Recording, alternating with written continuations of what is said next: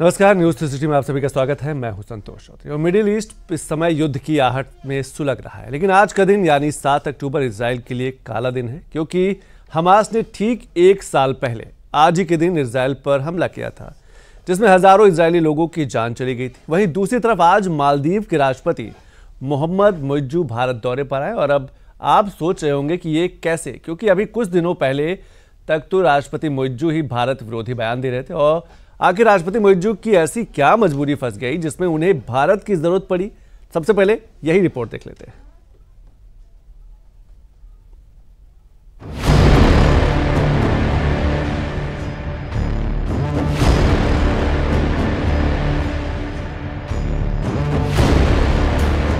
ये तस्वीर कई मायनों में खास है। ये तस्वीर भारत की विदेश कूटनीति और बढ़ते रसूख का सबसे बड़ा सबूत है।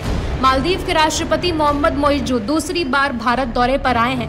दरअसल राष्ट्रपति मोहम्मद मोइजू वही हैं जिन्होंने भारत विरोधी बयान दिए हैं। इंडिया आउट कैंपेन चलाकर अपनी सियासत की रोटियाँ भी सेकी हैं। अब सवाल ये उठता है कि इन सब के बावजूद राष्ट्रपति मोइजू को दोबारा भारत आने की ज़रूरत क्यों पड़ गई? तो इसका जवाब है मजबूरियाँ। ग्राफिक्स में उन्हें गिनते जाइए। पिछले साल मालदीव के कुछ मंत्रियों ने पीएम मोदी पर अभद्र टिप्पणी की थी। इसके बाद मालदीव जाने वाले भारतीय पर्यटकों की संख्या में भारी गिरावट आ गई। नतीजा ये हुआ कि इससे मालदीव का पर्यटन सेक्टर बुरी तरह चरमरा गया। मालदीव सरकार की कमाई का मुख्य स्रोत टूरिज़्म है। भारतीय पर्यटकों ने मालदीव जाना छोड़ा तो उसका विदेशी मुद्रा भंडार बेहद कम हो गया। मालदीव का विदेशी मुद्रा भंडार अब करीब 40 करोड़ डॉलर रह गया है।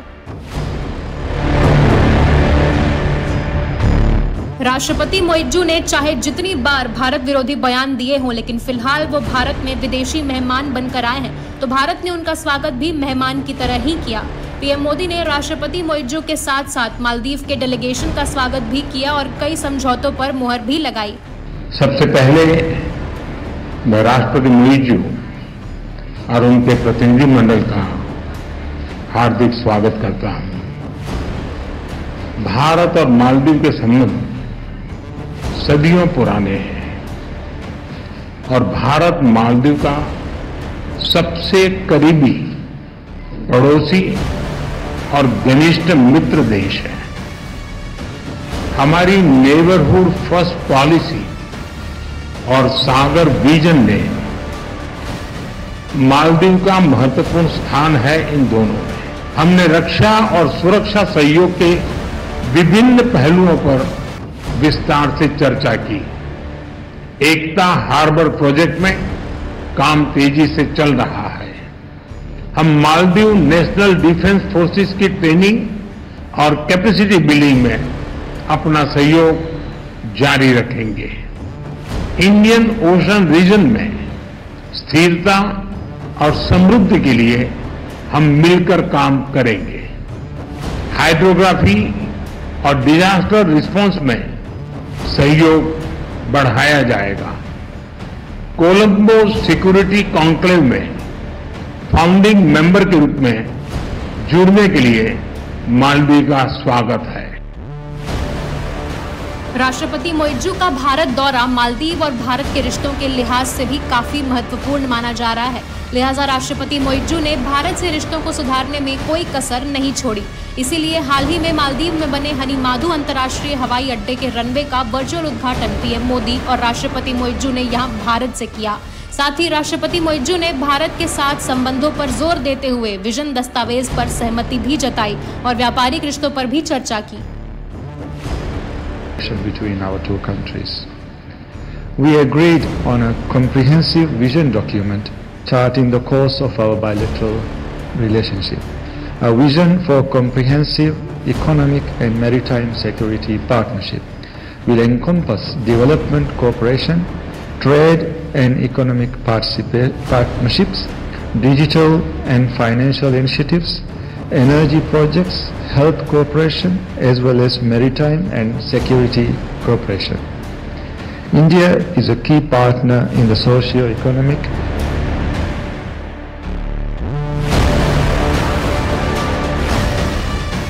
मालदीव के राष्ट्रपति मोइजू दरअसल चीन और तुर्की के ज़्यादा करीब माने जाते हैं। राष्ट्रपति बनने के बाद वो पहले इन्हीं दोनों देशों के दौरे पर गए थे, लेकिन कुछ ही महीनों में उन्हें भी असलियत का पता लग गया कि भारत के बिना मालदीव का गुजारा नहीं है। मालदीव को उन्नीस सौ पैंसठ में आज़ादी मिली थी। भारत उन देशों में है जिसने मालदीव को बुरे वक्त में सहारा दिया। वैसे भी सात अहम सेक्टरों में मालदीव पूरी तरह भारत पर निर्भर है। 1988 से डिफेंस सेक्टर में मालदीव पूरी तरह भारत पर निर्भर है। मालदीव की नेशनल डिफेंस फोर्स की ट्रेनिंग का 70 प्रतिशत सामान भारत देता है। बीते 10 साल में 1500 से ज़्यादा मालदीव सैनिकों को ट्रेनिंग मिली है। कई बड़े इंफ्रास्ट्रक्चर डेवलपमेंट जैसे एयरपोर्ट्स और कनेक्टिविटी को तैयार करने में भारत ने मदद की है। ग्रेटर माले इसका सबसे बड़ा उदाहरण है, जिसमें भारत ने 50 करोड़ डॉलर की राशि दी है। मालदीव में इंदिरा गांधी मेमोरियल कैंसर अस्पताल को बनाने में भारत ने बावन करोड़ रुपए दिए हैं। भारत ने मालदीव में उन्नीस सौ छियानबे में टेक्निकल एजुकेशन इंस्टीट्यूट खड़ा करने में मदद की है। भारत की मदद से मालदीव में तिरपन लाख डॉलर का वोकेशनल ट्रेनिंग प्रोग्राम शुरू हुआ है। मोदी सरकार में दोनों देशों के बीच व्यापार चार गुना बढ़ गया है। 2022 में दोनों मुल्कों के बीच व्यापार 50 करोड़ डॉलर था, जबकि 2017 में ये 17 करोड़ डॉलर का था। मालदीव हर साल औसतन ढाई लाख भारतीय जाते थे। लेकिन पीएम मोदी पर मालदीव के मंत्रियों की टिप्पणी के बाद इस साल 24 सितंबर तक अट्ठासी हज़ार के करीब ही भारतीय मालदीव गए हैं। मालदीव के मामले में भारत ने हमेशा ही बड़े भाई की भूमिका निभाई है, लेकिन राष्ट्रपति मोइजू भूमिका बदलना चाहते थे। हालाँकि अब लगता है कि उन्हें भी समझ आ गया है कि चीन के लिए वो सिर्फ़ इस्तेमाल की चीज़ ही है।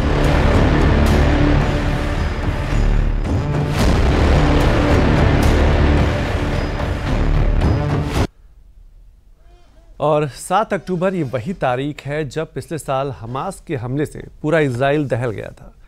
आज उस हमले के एक साल पूरे हो गए और इस एक हमले ने बीते एक साल में पूरे मिडिल ईस्ट का जो भूगोल है, वो बदल दिया है।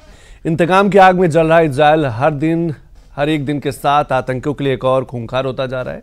इसराइल ने हमास के कब्जे वाले गाजा पट्टी को तबाह कर दिया। इसराइल पर हमास के हमले के बाद से आज तक में क्या कुछ हुआ है, उस पर एक रिपोर्ट देखिए आप।